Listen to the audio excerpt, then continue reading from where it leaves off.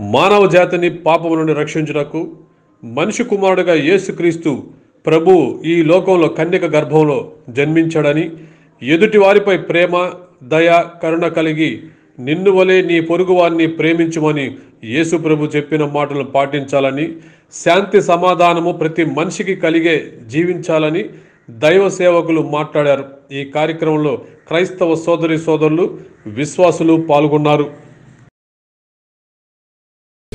ప్రకాశరావు కుటుంబము మంచి ఉద్దేశంతో ముందుకు వచ్చి ఉదారంగా మన విచారణ సాగు చేసినందుకు మనసారా ఆ కుటుంబానికి మన సహకరించారు. సహాయం చేశారు.